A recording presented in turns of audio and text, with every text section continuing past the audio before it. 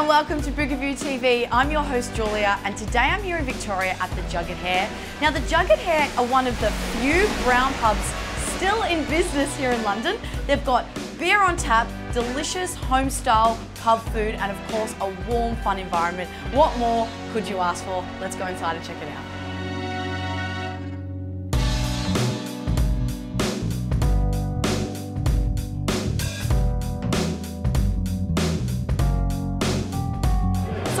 Building here was originally a bank and the Jugged Hare have a great selection of premium ales on tap and of course lots of wines and spirits to go with it. But the food just looks sensational.